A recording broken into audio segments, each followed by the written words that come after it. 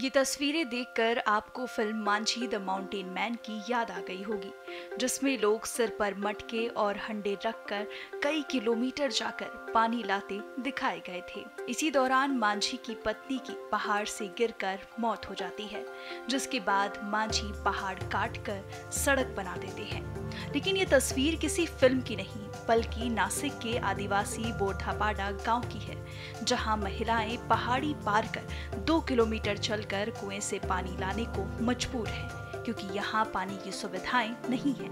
स्थानीय लोगों का क्या कहना है, सुनिए।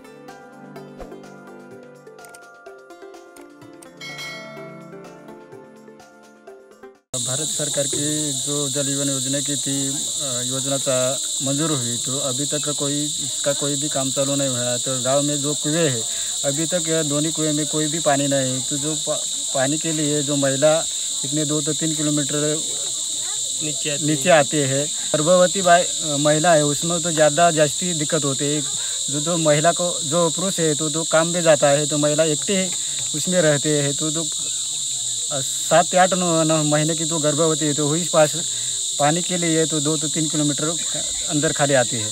तो प्रशासन से क्या मांगे आप लोग मैं प्रशासन की मांग करता हूँ तो जल्दी से जल्दी उसका आम की योजना चालू करे। जो ठेकेदार है उसमें अभी तक जो काम नहीं शुरू किया तो उसको ठेका रद्द करना चाहिए तो जल्दी से जल्दी काम शुरू करना चाहिए हमारे गाँव में दो कुएँ हैं वो पूरी तरह से सूख गए हैं और ये कुआ है लेकिन वो पंद्रह दिन में ख़त्म हो जाएगा तो हमारे गाँव के लोग क्या करेंगे? बेचारे पानी के लिए तरस रहे हैं।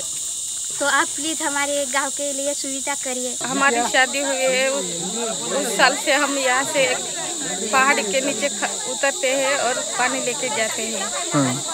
तो क्या क्या हादसे होते हैं आपके लाइफ में? किसी का हाथ मुकता है किसी का पैर मुकता है। हाँ। हमको बहुत तकलीफ़ होती है और हाँ। दो किलोमीटर दूरी जाना पड़ता है हमको।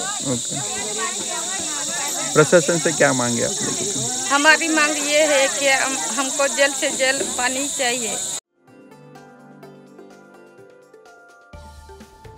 सरकार की जल मिशन योजना यहाँ फेल होती नज़र आ रही है। बताया जा रहा है कि पेयजल समस्या के निदान के लिए यहाँ के कलेक्टर से गुहार भी लगाई गई लेकिन अभी तक समस्या का हल न निकल सका।